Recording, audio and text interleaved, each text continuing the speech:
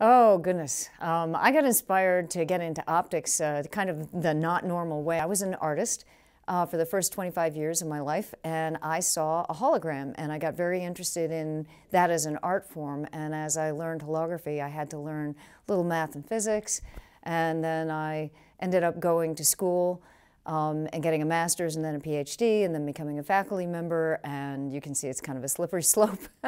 so uh, once you get into it, it just kind of blooms.